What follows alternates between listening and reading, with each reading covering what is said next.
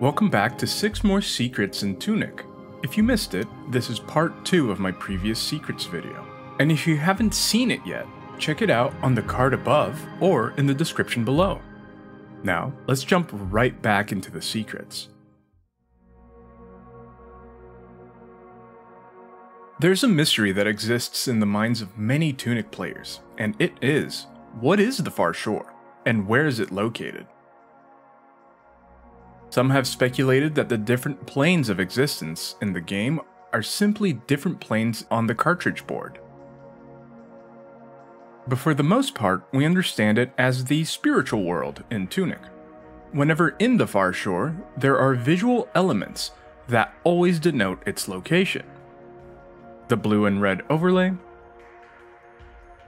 the waves in the background, and the specks of RGB that float in space.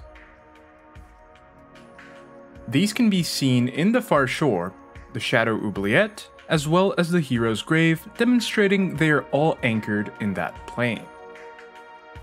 It also appears in the main menu, but that doesn't seem to play into the rest of the game's world. Many other locations contain overlaid colors near the edges of the screen, but due to the difference in colors, I would believe they do not necessarily signify a connection with the far shore. Some of these places include the swamp and the cathedral, where the overlaid colors are swapped in comparison to the far shore, meaning some overlays might simply designate a type of area, like the underground or a forest. But there is one location which appears to be incredibly close to the far shore. The Glyph Tower. The Glyph Tower is a part of the game that may have gone undiscovered by some players. It requires one to have at least 6 of the golden treasures to open. Once inside, the Glyph Tower seems to almost revere the Disquiet Ones, with pillars surrounding the tower inlaid with their image. Floating around the tower itself are Trunic glyphs that rotate with the tower and come into focus at the bottom center of the screen in front of these pillars. As you may have guessed, it creates a message in Trunic. However, it is not a normal message, but a cipher that when interpreted and translated leads to a very interesting website, which you can visit by going to doyoufeartheeyesofthefarshore.co, where you can find this.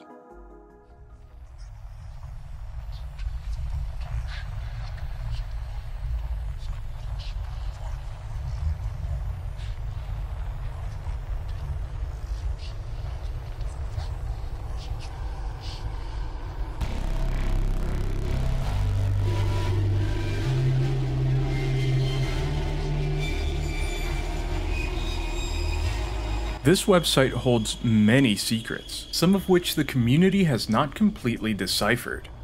Some believe that the tentacles of this disquiet being holds a message or a path for the Golden Cross. Others believe this may be showing us the opposite side of a disquiet being from the ones seen in-game, since within the game, the RGB eyes are in mirrored positions.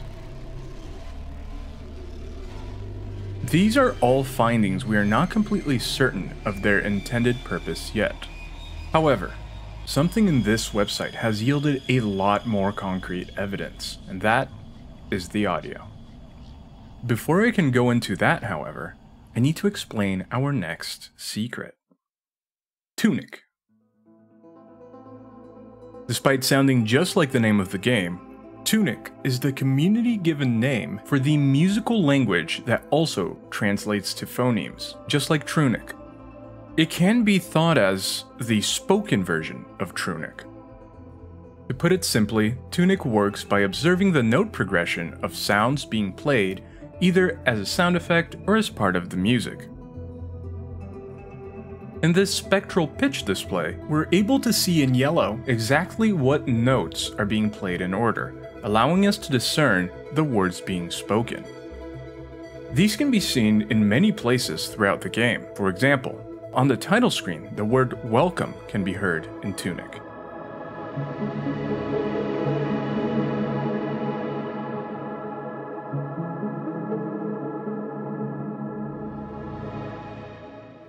If selecting a new game, the word new is played.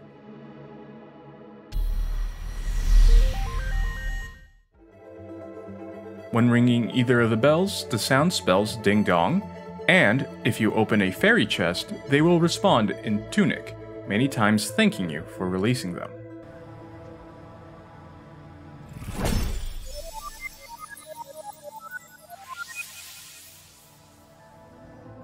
There are many more examples of Tuneic throughout the game that add or enhance to the meaning or intent of the situation they are presented in.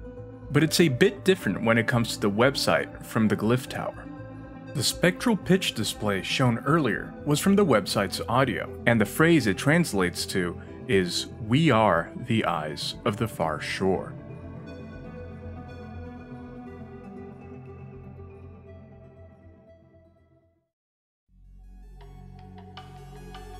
But Tuneic is not the only audio secret that Tunic holds. It has at least one more trick up its sleeves. In a similar way to Tuneic, running audio through a spectrogram can also reveal different things, which you might have noticed in the spectral pitch display's background. Some audio visually spells out words. In the case of the website, the Trunic glyphs read the same thing as the audio does, but there are many more locations where there is no Tuneic parallel. When entering the shopkeeper's shop, there are two audio variants. When there are products to buy, the glyph for buy can be seen in the audio. When entering the shop where you can find a manual page, which is free, the glyphs for free can be seen. Prompts when asking or denying something have glyphs hidden in the audio that correspond to them. Okay and no are two examples of these prompts. There have not been many things found with this method, but even knowing it is a possibility opens many doors.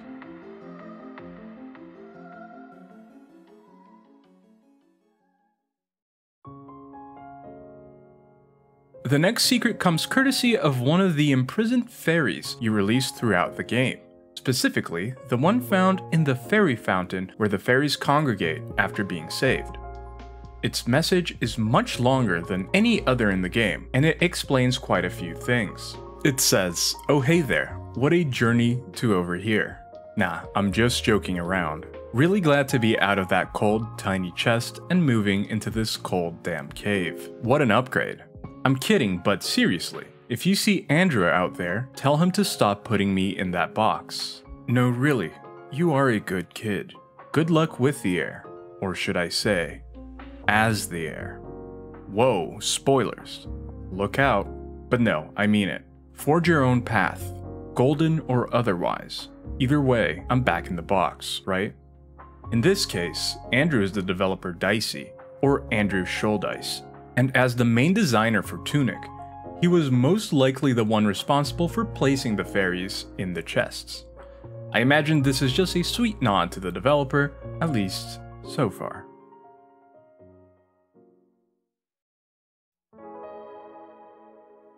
Our last secret begins in the manual. The back cover of the manual, in fact. Here you can find an odd hexagonal sticker or badge with a fox at its center and Trunic on its borders. These have existed since the early stages of development. On February 22nd, 2016, Dicey tweeted, Check out these weird paper coins I found.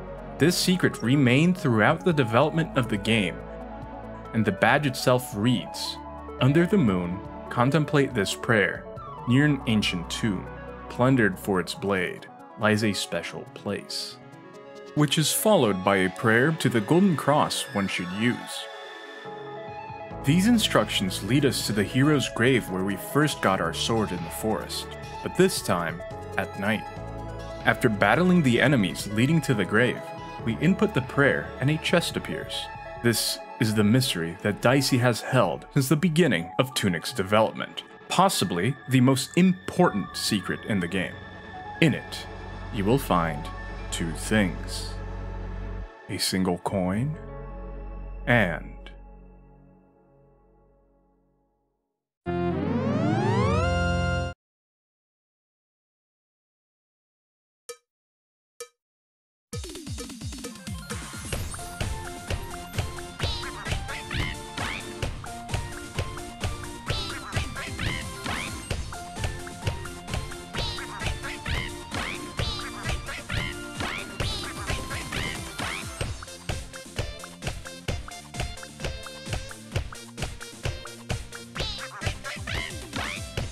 Thank you for watching.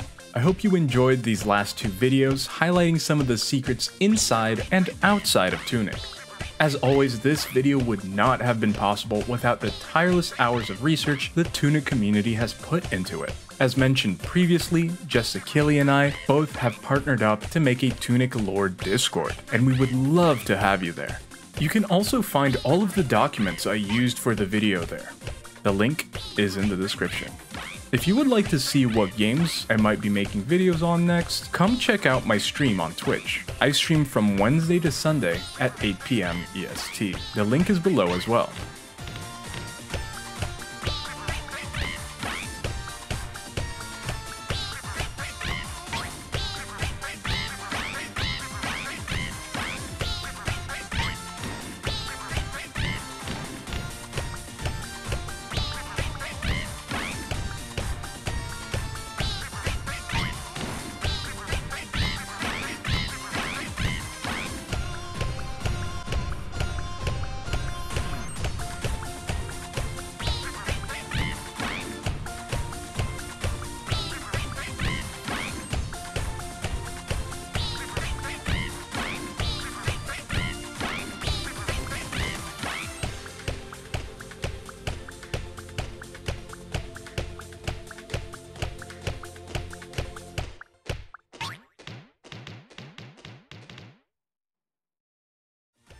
But this is it for me today.